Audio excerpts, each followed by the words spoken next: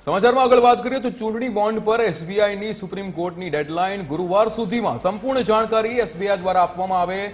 આદેશનું પાલન કરવાની વાત સુપ્રીમ કોર્ટ દ્વારા કરવામાં આવી છે. ગુરુવારે સાંજે પાંચ વાગ્યા સુધી જાણકારી આપે એસબીઆઈ. એસબીઆઈએ સુપ્રીમ કોર્ટમાં સોગંદનામું પણ રજૂ કરવું પડશે.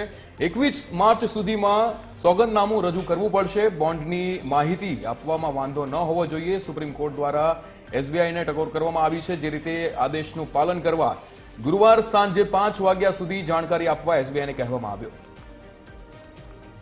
આપણી સાથે ધર્મેશ વૈદ્ય જોડાઈ ગયા છે. ધર્મેશ, જે રીતે ગુરુવાર સાંજે પાંચ વાગ્યા સુધી માહિતી આપવાની વાત કરવામાં આવી છે, એસબીઆઈને સુપ્રીમ કોર્ટની આ ટકોર કરવામાં આવી છે. શું વિગતો?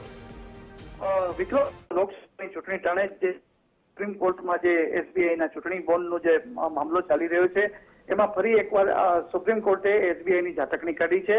સીજીઆઈએ જે સુનાવણી દરમિયાન કહ્યું છે કે ચૂંટણી બોન્ડ વિશે દરેક માહિતી આપો, ત્રણ દિવસમાં એફિડેવિટ આપવા, જણાવો કે કંઈ છુપાવ્યું નથી, આવું એફિડેવિટ દેવાનું પણ કર્યું છે. આ મામલે સોળ માર્ચે સ્ટેટ બેંક ઓફ ઇન્ડિયા એસબીઆઈને નોટિસ પાઠવી હતી અને અઢારમી માર્ચ સુધી ફોન નંબર વિશેની માહિતી આપવા બદલ બેંક પાસે જવાબ પણ માંગ્યો હતો.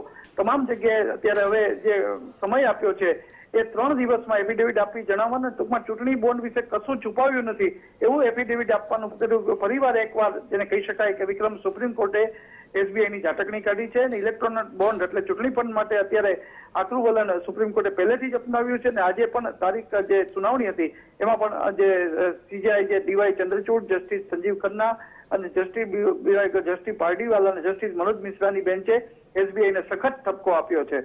જી. બિલકુલ ધર્મેશ સમગ્ર માહિતી બદલ આપનો આભાર. તો જે રીતે એકવીસ માર્ચ સુધીની વાત કરવામાં આવી છે, સોગંદનામું રજૂ કરવું પડશે એસબીઆઈને આદેશનું પાલન કરવા એસબીઆઈને સુપ્રીમ કોર્ટ દ્વારા કહેવામાં આવ્યું છે.